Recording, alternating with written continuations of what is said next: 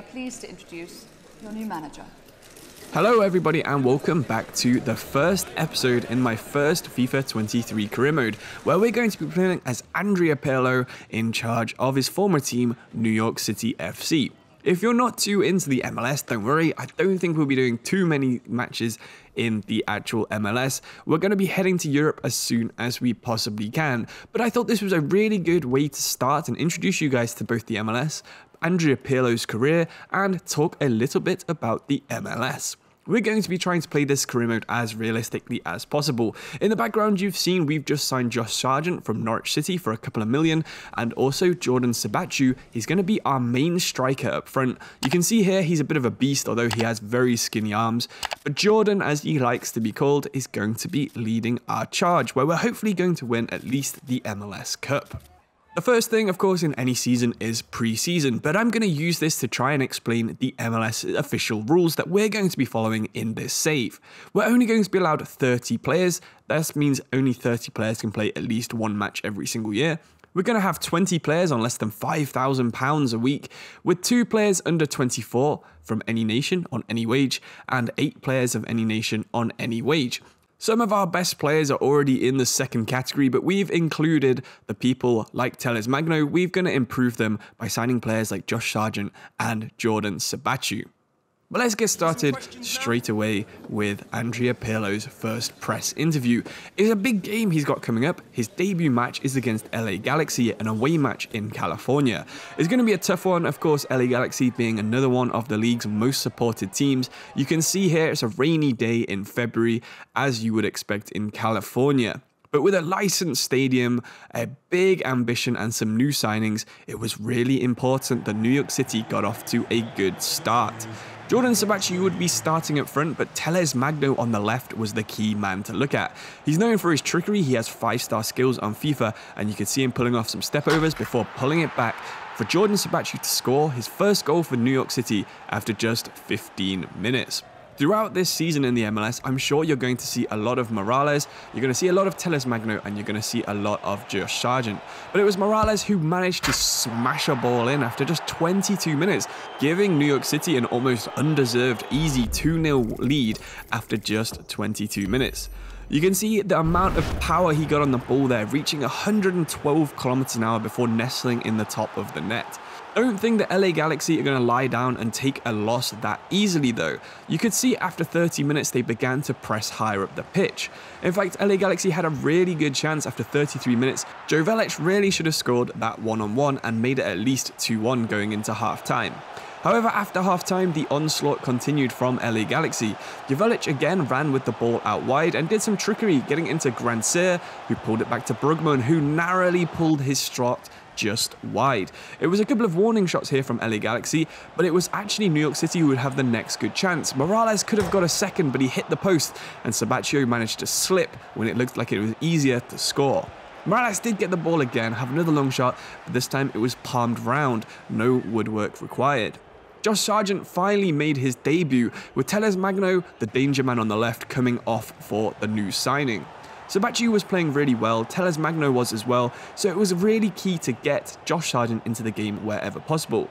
Siebatcheu showed the amount of physicality he had there, holding off a defender, and he really should have sealed the game to be 3-0 in the 89th minute.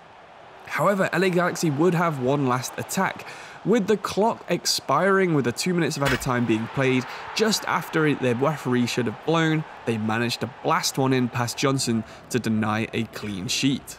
However, LA Galaxy wouldn't have time to mount a comeback, and that's how the game would end 2 1 and a winning start for Pirlo's career in America.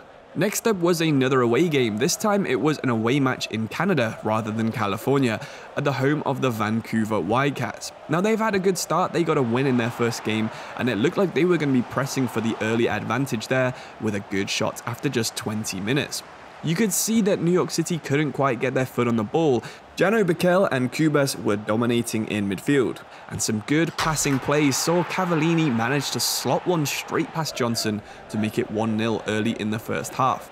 Talles Magno tried to do some trickery, but he couldn't quite get past the defender.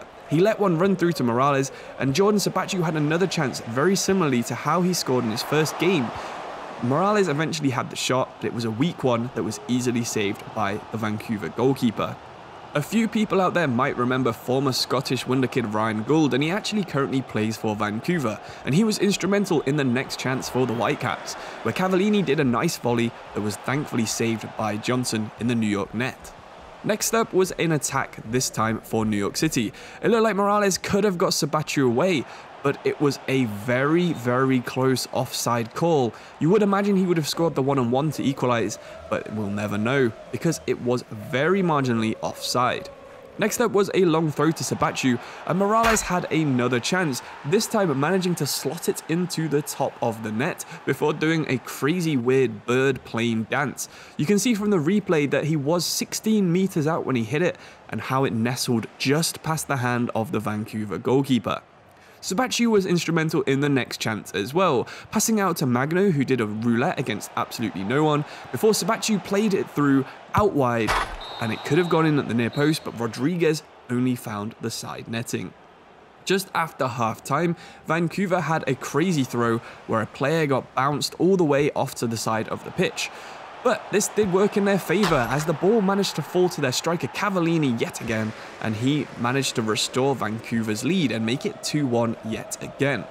The Argentinian striker was again instrumental in their next attack, as was Ryan Gauld, and Gauld managed to slot it past to make it 3 1, a comfortable home advantage now for the Whitecaps.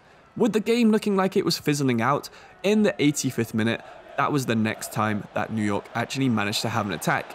Josh Sargent got the ball on the edge of the box before playing it through to the youth player Campbell, but his shot was easily saved and the game would continue. With only a few minutes left, Ty Bear got through and managed to make it 4 1. In the end, it was an easy win on paper for Vancouver, but a lot of the goals were fairly simple or from mistakes of New York City players. So we can't be too disheartened, and if we managed to tighten up at the back, we probably could have at least got a draw in this match. One final chance was the long shot straight from kickoff from New York City. As amazing as it would have been, unfortunately it didn't go in, and that's how the game would end.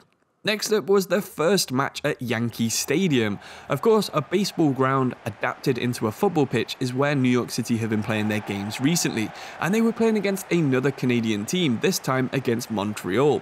Try not to spoil the game too much, I don't think this was a very eventful match. But the first clip actually comes from early in the first half, after just 7 minutes when Montreal were on the attack. They managed to play it into the box before a defensive error saw Johnson perform a good save to keep the score nil-nil. Nothing happened from the corner and nothing would happen for another 10 minutes, when a long ball forward by New York City was easily intercepted. Wanyama in midfield played it out to Johnson. Johnson to Piette. Kyoto managed to turn, and it was another good save from Johnson. With halftime coming and passing, it was time for New York to have the next and only other attack of the half. So they managed to get the ball out of their feet, and it was a good volley again from Morales. What a nice finish that was to give them a lead at home. The Yankee Stadium was roaring, and with the potential of a first home win on the cards, the game was ticking down towards the end of the match. However, Wanyama had something to say about it. A couple of quick passes is all it took for Vancouver to manage to get the equaliser, and that's actually how the game would finish. Nothing else really happened in the match other than those two goals, and it would end up with New York City 10th in the Eastern Conference. With only the top seven going through to playoffs in each conference, New York City did need to improve if they wanted to play the likes of LA Galaxy again in the finals. Hopefully you've enjoyed this video and hopefully you'll subscribe to see more like this and like the video if you enjoyed it. Thank you all for watching. I'll see you soon for another video. Thank you and goodbye.